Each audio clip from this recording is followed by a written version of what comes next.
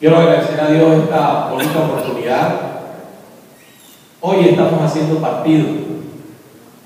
Yo quiero darle la bienvenida a los medios de comunicación. Iniciar mi participación con el único mensaje claro que hoy tenemos todos los actores. Y es decirles que aquí hoy está presente en este recinto el Partido Conservador en Casi muchos hayan querido desconocerlos. Hoy en Galana, esta gran coalición, esta gran alianza de participantes dentro del colectivo, la doctora Bucari Salas, mi compañera de lista, con un excelente trabajo en todo su desempeño en la subregión, trabajo en las bases sociales, en ese frente tan importante como son las víctimas. La bienvenida también va para la doctora Zoila Luna, en ausencia y representada aquí, porque me antecedió está haciendo un desarrollo importante en la ciudad de Santa Marta y en todo el departamento de Magdalena para construir partido conservador. Y hablar del excelente trabajo que está también avanzando la de quien debió a vos anunció con mucha claridad que más que lesionarlo le hicieron un favor, lo popularizaron aún más de lo que ha sido el contenido y que ha pensado siempre la estructura Luis Tete, San Pedro, su padre, y vienen avanzando con deseo también, igual que todos los miembros de la lista, de no solo ser representante de la Cámara, sino también ser los mejores representantes de la Cámara en este departamento hoy está demandando. Importante también la presencia de personas representativas del partido. Doctor Carlos Neri López, representante de la Cámara, doctor Alfonso Campos Escobar, quien está aquí en compañía de Laxi de Soto, actor importante del Partido Conservador en el escenario inmediatamente anterior en las elecciones del 2015. Don Martín Jubinao, conservador de pura cepa, que todos conocemos, de gran tradición partidista. Y con este preámbulo quiero rectificarles y quiero pedir un aplauso más. ¿Qué más espera el señor Velázquez? Aquí está el Partido Conservador Extremo. Patricia quien ha venido desde zona manera militando en el Partido Conservador durante toda su vida, desde sus padres, la lista pensando en grande por Santa Marta y todo lo que voy a ser parte de esta estructura, de este esfuerzo que estamos haciendo. El esfuerzo principal es el de rescatar, rescatar el Partido Conservador, que precisamente por el mal manejo que hoy hemos tenido, se ha desconocido gran propósito que nosotros hoy estamos sacando adelante. Deja al amigo Macené de último, porque hoy yo creo que esta inscripción se debe a usted, al amigo, al hermano, al que fue a mi casa y me reunió con todos los actores y me invitó a participar de la lista, me llenó del entusiasmo y se esta gran oportunidad y en compañía de todos los que mencioné, entregaron una gran responsabilidad, al igual que los compañeros de lista, Roberto Herrera, con Soy la Luna, que hoy la representa su hermana, a Luis Tete Pedro, la de yo creo que tenemos una gran tarea, pero lo que más me ha gustado y voy a ratificarlo es que no vamos a fallecer, porque con el favor de Dios el Partido Conservador el próximo 11 de marzo cualquiera de los candidatos que hoy estamos en la lista tenemos las condiciones y vamos a y tenemos por lo menos una o dos columnas de la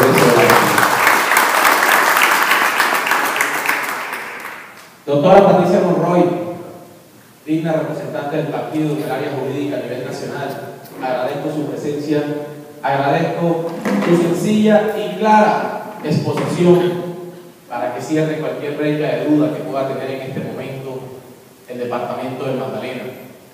No solo venimos a construir partido, sino que estamos haciendo partido con personas que son dignas representantes de él, con condiciones de formación intelectual, profesional, popular, de compromiso social para poder dar esta tarea. Pero llevo, y no quisiera ir en este recinto, señores periodistas, con una gran preocupación, y el mensaje que quiero que usted se lleve, doctora Patricia, es ¿Dónde están los conservadores que hoy se revisten de credenciales?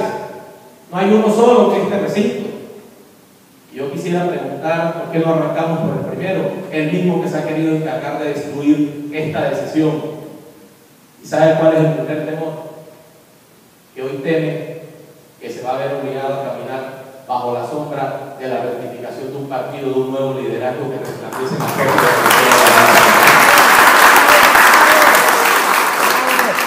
Y como su esencia no le da para más, recurre a prácticas nocivas, recurre a lesionarnos precisamente a perturbar el excelente trabajo que venimos desempeñando.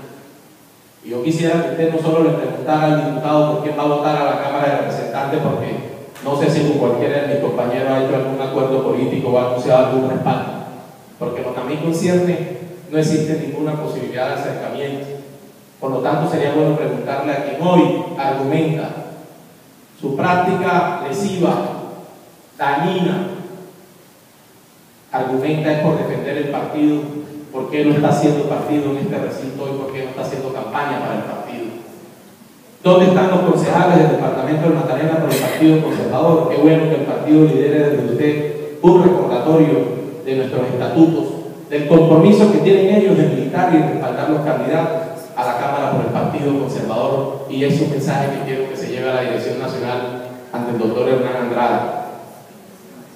Y también tenga claro es que aquí no fue simplemente una denuncia sencilla que se presentó, señores periodistas. Aquí se engañó y se abusó de la buena fe de un organismo tan importante que es el que lidera los procesos, es el que se encarga de regir que todo se haga dentro del marco legal como es el Consejo Nacional Electoral. Muy grave es que un abogado, conocedor del derecho en principio, por haberlo estudiado, abuse y presente una solicitud de revocatoria de una inscripción con unas pruebas medianamente o parciales, por llamarles así. Eso es una falsa demanda, eso es una falsa denuncia, es una falsa solicitud.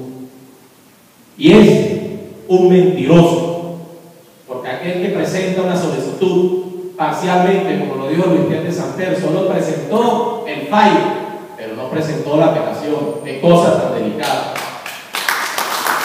Y es lo que yo quiero que entienda y que el mensaje es de extrema preocupación, porque si volcamos esta iniciativa, ya se convierte en una práctica, una práctica lesiva y desconsiderada en contra del partido porque sabe que en el momento en que cualquiera de nuestros candidatos pondría de pronto en peligro en un, en un menor resultado de caudal electoral.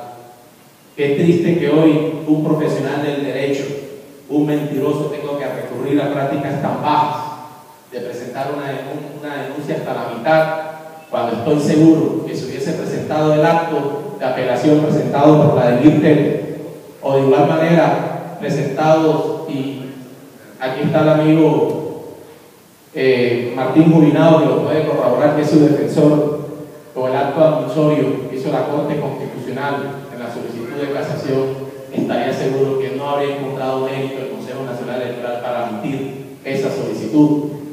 Será pues estos organismos los que tomarán las medidas en, en retaliación a este acto indigno en contra del Partido Conservador.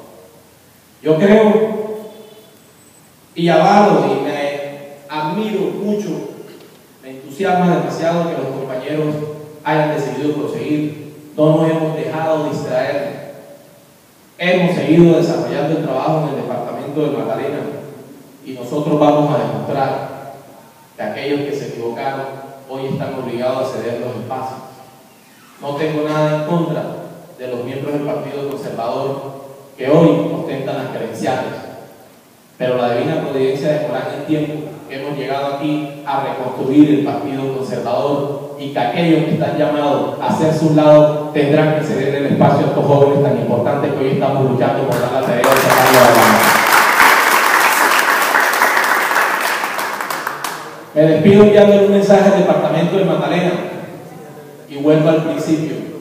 Aquí está el honorable y glorioso Partido Conservador Colombiano, el mismo que perdió su representación que mantuvo durante más de 25 años y que hoy con orgullo, rodeado de este colectivo, de todos los actores de su tradición, de la importancia que representaron haciendo tarea dentro del partido durante más de 50 años, decidimos en buena hora aunar esfuerzos para retomar el liderazgo de Magdalena y para defender, doctora Patricia, sus ideales doctrinarios con decencia y con dignidad. Muchas gracias.